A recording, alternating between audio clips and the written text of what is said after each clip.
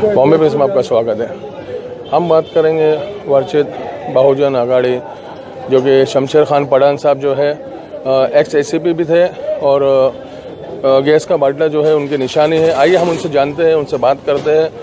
Sir, Bombay press में आपका स्वागत है। जैसा कि सब में पहले तो हम ये जानना चाहेंगे, कल जो एफआईआर की जो बात थी, जो आपने जो एफआईआर दर्ज किया था डोंगरी पुलिस स्टेशन के अंदर, उस बारे में क्या जानकारी दोगे?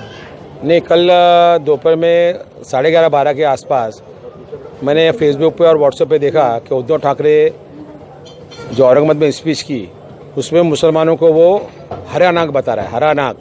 अरे नागों को कुचलना चाहिए, क्योंकि वो हमारे वंचित बहुजन आघाड़ी के उम्मीदवार जीते वहाँ से इम्तियाज़ जलील। तो वो उनको एड्रेस करते हुए कि यहाँ पर हरा नाग यहाँ पर पैदा हो चुका है और ये जितने हरे नाग है, इन हरे नाग को हम पाकिस्तान बेच के वहाँ पर नाग पंचमी करेंगे। तो उनका जो था, वो एक किस्म का, वो एक मुसलमानों के खिलाफ में एक वो भड़काऊ भाषण था। उस चीज़ को लेके मैंने इमीडिएटली उसको पेन ड्राइव में लिया और डोंगरी पुलिस में जाके मैंने वो दिया और मैंने कहा कि मेरी एफआईआर लो। तो अभी उद्धव ठाकरे के खिलाफ में एफआईआर देना और लेना बड़े हिम्मत की बात है। तो मुझे कहा कि आप एक काम करो हम अप्लीकेशन दे दो, मैं हम देखते मतलब अप्लीकेशन लिखना मेरे को आता नहीं है। अप्लीकेशन लिखना आता नहीं है। आप लिखिए, मैं सही करूँगा उसके ऊपर। तो एकदम वो परेशान हो गए। मतलब आप एफआईआर लो। क्या अप्लीकेशन की बात आप कर रहे हो मतलब मैं कोई नया आदमी हूँ क्या मतलब कंप्लेंट है, आपको सुना रहा हूँ मैं। केस बनती है। तो फिर एफ़ फिर आपको कंप्लेंट एप्लीकेशन क्यों चाहिए? तब उन्होंने मेरा एफआईआर लिया।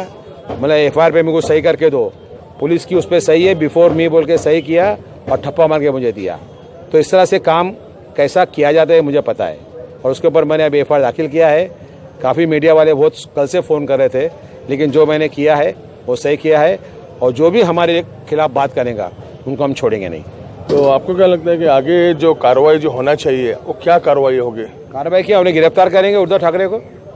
और हो सकता है कि जिन कैंडिडेट के लिए उन्होंने मतलब मैंने जो अपील की जिनके प्लेटफॉर्म पे उन तमाम कैंडिडेट को रद्द होना पड़ेगा। उनका अगर जीत के भी आ गए तो उनकी अ, उनको हारना पड़ेगा उनको। क्योंकि इलेक्शन कमीशन का रूल है कि जो भी लीडर उनका लीडर अगर एक प्लेटफॉर्म से अगर धर्म के नाम पे वोट मांग रहा है तो जो लोग पर बैठे हुए उम्मीदवार है, जो चुन के आने वाले हैं, उनकी जीत रद्द हो जाती है। तो उनके वो लोगों को भारी पड़ेगा। मैंने इलेक्शन कमीशन को भी लेटर लिखा हूँ कि इस तरह से भाषण किया है और वो उनको और हो सकता है उन पर बैन भी लग जाए। उनके ऊपर अभी तो इलेक्शन खत्म होते आ रहा है, लेकिन अगली बार के लिए उन पर बैन लेंगे, उनको उनका अंडरटेकिंग उनके पास से लिख के लेंगे कि आज के बाद में आप धर्म कर्म की बात नहीं करेंगे। तो एटलीस्ट कम से कम सुधर जाएँगे, नहीं तो बाद में फ्यूचर में कम से कम वो तो आइए अभी हम बात करते हैं विधानसभा इलेक्शन के बारे में। आज विधानसभा इलेक्शन में आप खड़े हुए हो लड़ने के लिए मोहम्मद देवी से। इस बारे में क्या कहना है आपका? देखिए मुम्मा देवी की जो हालत है बहुत ख़राब है। मैं आठ साल से सियासत में काम कर रहा हूँ। और यहाँ के एमएलए ने एक छोटे से एनजीओ के पास से नंबर वन निकाला और सब तरफ़ पे बड़े बड़े बैनर लगा दिए। आज अब अगर आप चलिए और लोगों से पूछिए अगर आप दस लोग का इंटरव्यू लेते हैं तो दस लोगों में से नौ लोग कहेंगे हमको उसको हराना है। इसकी वजह क्या? काम नहीं कुछ किए ना, कुछ काम नहीं किए क्रिमिनल बिल्डर के साथ में अपने बिल्डिंगें बनाई। आज आप देखेंगे तो कोई भी टावर में पार्किंग होते भी पार्किंग नहीं है।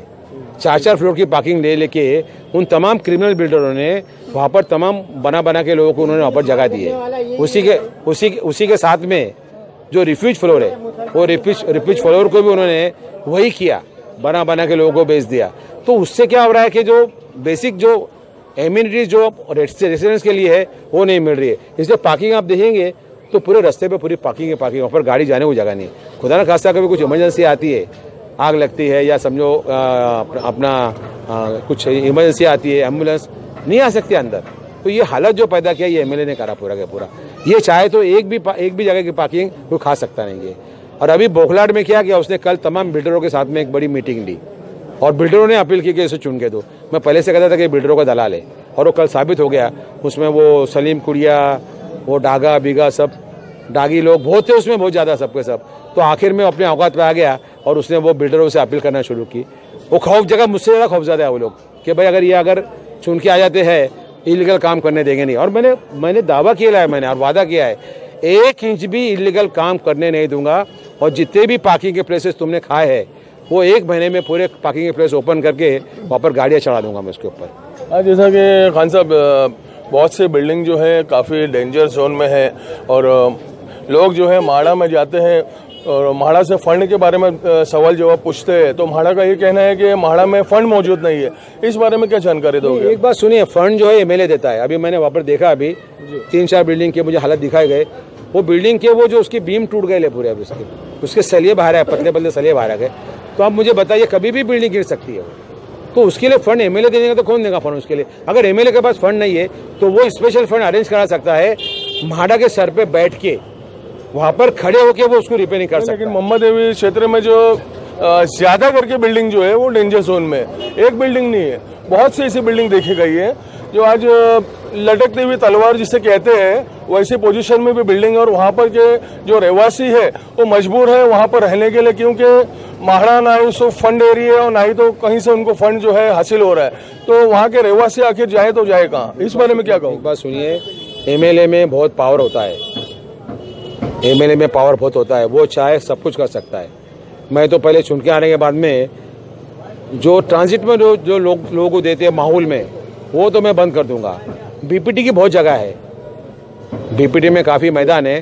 तो सबसे पहले तो मैं सेंट्रल गवर्नमेंट से बात करके और एमपी से बात करके बीपीटी में ट्रांजिट कैंप बनाऊँगा। ताकि हमारे जो लोग यहाँ के रहने वाले हैं, वो वही के पे बीपीटी में चल जाए, ताकि उनका जो बच्चों का एजुकेशन उनकी नौकरियाँ, ये डिस्टर्ब ना हो। माहौल किधर है? यहाँ से कितना लंबा है? आने को दो घंटा लगता है ऊपर अभी।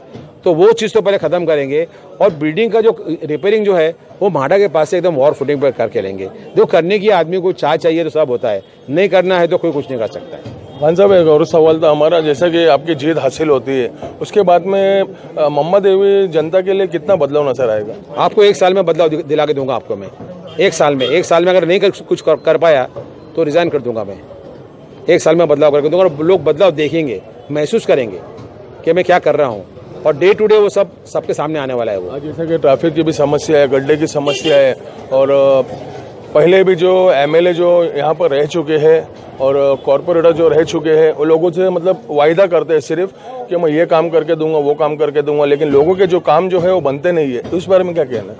नहीं वो वादा करके अपने स्क्वायर फीट में पैसा कमा रहे ना वो लोग अपना? मतलब आपके आने के बाद में आपकी जीत हासिल होने के बाद में क्या वो चीज़ों में फ़र्क नज़र आएगी? रुक जाएँगी फ़र्क नहीं रुक जाएँगी। म्यूनसिपलिटी के ऑफिसर जो करप्ट है ना उनके सर पकड़ के बाल पकड़ के उनको बाहर के फेंक दूँगा उनको आगे मैं। ताकत इतनी रखता हूँ मैं। इलीगल काम होने नहीं दूँगा करप्शन होने नहीं दूँगा ये मेरा वादा है। बॉम्बे प्रेस से बात करने के लिए बहुत बहुत धन्यवाद। जैसा कि शमशेर खान पठान साहब ने बोला है कि अगर मेरी जीत हासिल होती है उस जीत हासिल होने के बाद में ऐसे बहुत से फ़र्क नज़र आएँगे जो पहले एमएलए ने नहीं किया है वो मैं करके दिखाऊँगा। और अगर नहीं किया तो अ, मैं रिजाइन कर दूँगा। बॉम्बे प्रेस के साथ अमजद पठान। बॉम्बे प्रेस को लाइक शेयर एंड सब्सक्राइब कीजिए तेज़ ताज़ा खबरों के लिए।